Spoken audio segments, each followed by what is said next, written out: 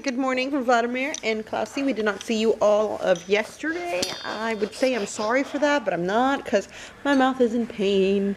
I went to the doctor's. I got there at 11 for my appointment. I didn't come home until 3.30.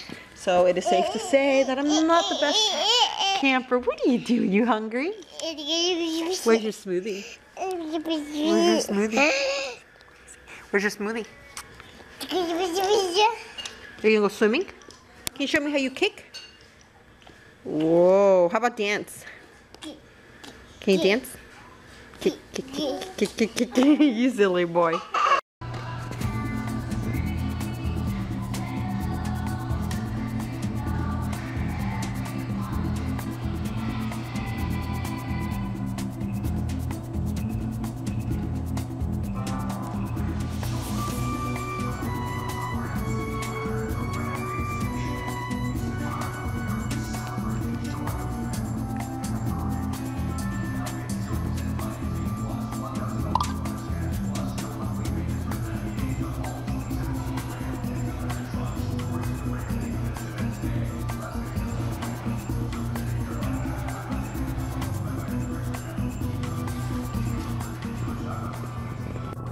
Someone just woke up from the longest nap after swim He had a school. four-hour nap. Four hours. And then Vladimir, sit down, please. And then I walked over here and found this guy sitting at the table, like minding his own business, eating an apple.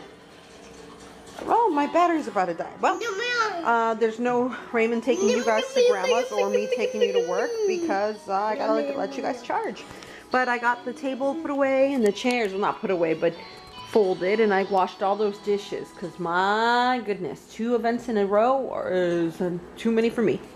Do not adjust your screens, ladies and gentlemen. It is 10 something and my son is still awake. It's 10:15. Try to put him to bed for about an hour. He's upstairs playing with the box and my battery my battery is still dying if you guys can see. I'm so dumb you guys can't see.